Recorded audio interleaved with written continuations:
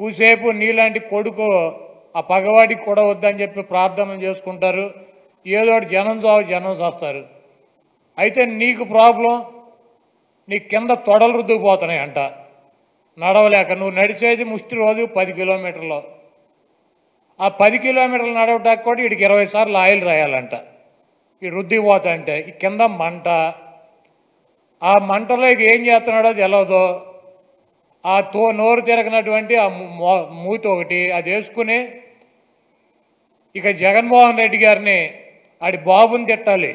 వీడు ముసలోడైపోయి వీడికి ఎందుకు రాజకీయాలు ఇంట్లో కూర్చోక మమ్మల్ని చంపుతున్నాడు? ఈ రోడ్లు అమ్మట అత్తగా ఇంటికాడ పడుకోకుండా నన్ను ఈ రోడ్డు మీదకి ఎక్కించి నవ్వులు పాలు చేస్తున్నాడు. కిందేమో మంట మండుతుంది. రోజుకి ఇరవై సార్లు నూనె రాసినా కూడా తగ్గట్లేదు అని చెప్పి మైక్ దొరకగానే ఈడు పిచ్చి కుక్క మరిగినట్టు వాడి బాబు మీద కోపం జగన్మోహన్ రెడ్డి గారు చూపిస్తున్నాడు. పాన్పరాక్ వేసుకొని డ్రగ్స్ తీసుకొని మీడియా ముందుకు వచ్చి ఇష్టానుసారం మాట్లాడితే నా కొడక ఇంకొకసారి వెన్నుపోటు అన్నా లోకేష్ గారిని పప్పు అన్నా చెప్పు తీసుకొని పడతా నా కొడక. రే నీకు నీ ముఖ్యమంత్రికి సవాల్ విసురుతా ఉన్నా. ఆయన కొవ్వెక్కి పాదయాత్ర చేస్తానని చెప్పి మాట్లాడుతా ఉన్నారు. లేదా శరీరాన్ని తగ్గించుకోవడానికి పాదయాత్ర చేస్తానని అంటున్నారు కదా. ఒక్క ఇరవై కిలోమీటర్లు నువ్వు గాని నీ ముఖ్యమంత్రి గాని ఆయన పాదయాత్రలో ఆయనతో పాటు నడిస్తే ఆయన కాళ్ళు పట్టుకుని నేను పాదయాత్ర ఆపుతా. సవాలు సిద్ధమా నా కొడక? తొడలు ఇబ్బంది పెడతాన్నాయంట రోజు ఆయిల్ రాసుకు ఆయిల్ రా- ఆయిల్ పూసేటువంటి వాళ్ళని పిలిపించుకుంటానంట. ఆ కాంట్రాక్ట్ నీకే ఇస్తారా? నా కొడక జగన్మోహన్ రెడ్డి పాదయాత్రలో నువ్వే గిన్ చేసినావేమో? ఆ అనుభవాన్ని నువ్వు ఇప్పుడు వచ్చి మాట్లాడుతున్నావు. ఈ రోజు తొడలు రాసుకుంటుంటే మందు పూసే కాంట్రాక్ట్ నీకు ఇస్తా జగన్మోహన్ రెడ్డిది పాదయాత్ర కాదు అది రోజుకి మూడు కిలోమీటర్లు నడిచినటువంటి సందర్భం ఉంది.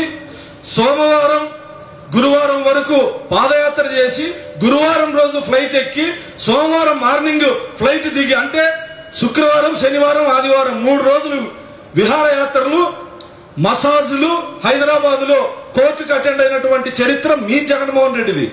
క్రిమినల్ కాదు లోకేష్ గారు. తప్పు చేయలే. జైలు చుట్టూ తిరగలే. కోర్టు చుట్టూ తిరగలే. నిజాయితీగా రోజు ప్రజల మధ్యన ప్రజల సమక్షంలో ప్రజల సమస్యలు తెలుసుకునేందుకు ప్రధాన ప్రతిపక్ష పార్టీ నాయకుడిగా ఈరోజు ఆయన పాదయాత్ర ఉంది కానీ మీ ముఖ్యమంత్రి లాగా వారానికి మూడు రోజులు రెస్ట్ తీసుకొని హైదరాబాద్లో మసాజులు చేయించుకొని ఇలాంటి పాదయాత్ర కాదు లోకేష్ గారి పాదయాత్ర. దాంట్లో భారతమ్మని ఇన్వాల్వ్ చేస్తారు. అదే మేము చంద్రబాబు నాయుడు భార్య గురించి మాట్లాడామనుకో వీడు ఎక్కెక్కి కింద పడి దొల్లుతాడు ఏడుతాడు మావిడిని అన్నారు మావిడిని అన్నారని. మన అసెంబ్లీలో చూశారు ఏమనకుండానే ఎక్కెక్కి ఏడిచాడు. అటువంటి వెధవ వీడు వీడు మాత్రం వీడి పార్టీని పెట్టించి భారతమ్మ గురించి మాట్లాడతారు. విని తాగేసి డ్రగ్స్ తీసుకొని వచ్చి మీడియా ముందుకు వచ్చి తప్పు పప్పు తుప్పు అని మాట్లాడుతా ఉన్నాడు. వీడు మాట్లాడినటువంటి మాటలు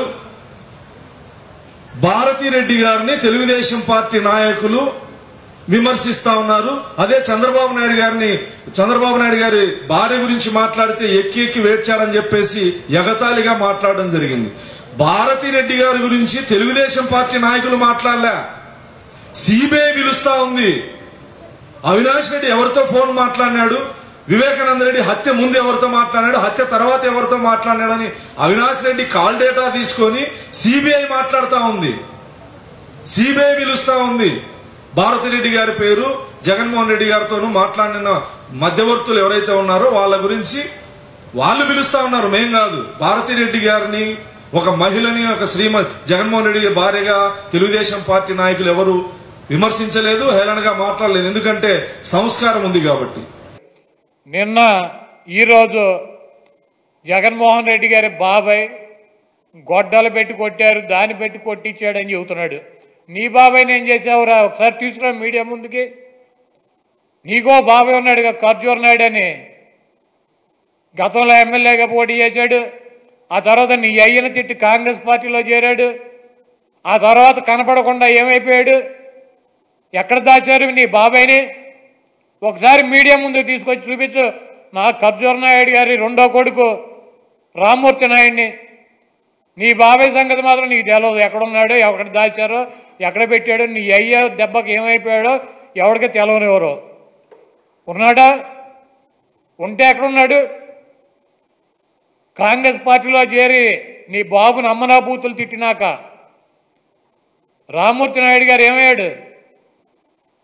బతికే ఉన్నాడా? ఎక్కడన్నా కనబడుతున్నాడా? పది సంవత్సరాలు శాసనసభ్యుడిగా చేసినటువంటి రామ్మూర్తి నాయుడు ఈ రాష్ట్రంలో ఉన్నటువంటి ప్రజలకు ఎందుకు కనపట్ల పండక్కి కనపట్ల సంక్రాంతి పండక్కి? నీ ఇంట్లో బామ్మర్దులు అత్తారింటి చుట్టాలు తప్పించి నీ మొహానికి తల్లిదండ్రులు ఎట్టాకు లేరు. తమ్ముడు ఉన్నాడుగా? పండగ ఎందుకు కనపడ్డా నారావారిపల్లిలో? ఈ అత్తారింటి కుటుంబమే కుటుంబం మనకి.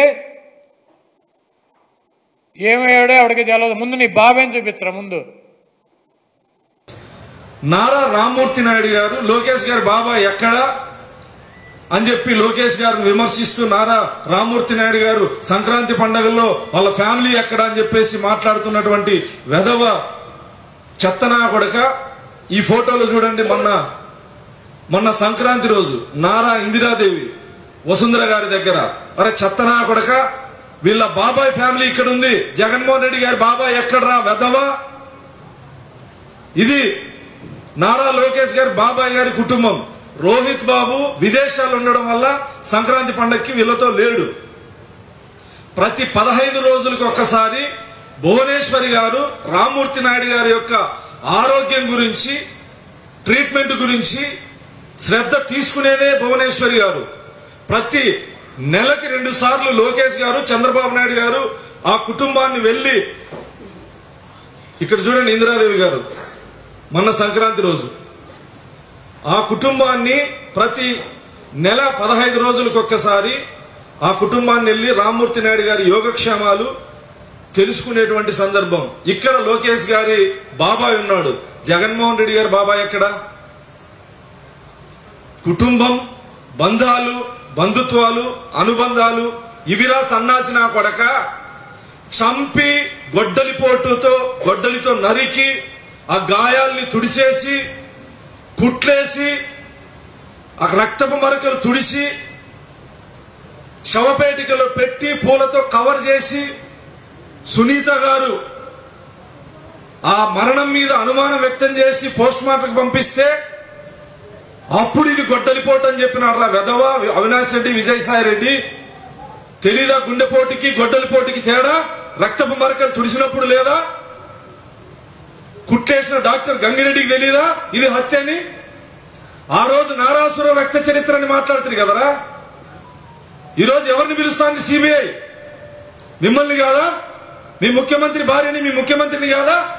రాజకోట రహస్యం చెదిరిపోయేటప్పటికీ కళ్ళు బయర్లు గమ్మి డైవర్షన్ కోసం ఈ- ఈ ఈ రాజకీయాలు మాట్లాడుతా ఉన్నావే?